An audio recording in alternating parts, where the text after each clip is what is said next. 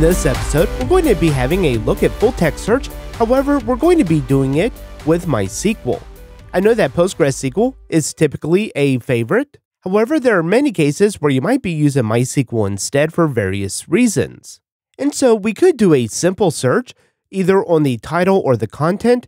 However, things get a little bit complicated when you're doing a search on multiple fields. And that's where something like a full text search can come in handy. And this would be the first route that I would go before I reach for something like Elasticsearch or some other kind of full text search engine.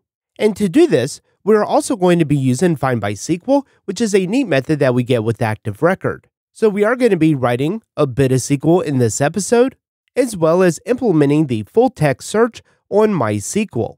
And because I don't have MySQL installed on my local computer, we are going to be doing a hybrid environment where we are using Docker for the dependencies with MySQL, and then we'll have the Ruby interpreter and the Rails application running on the bare metal machine.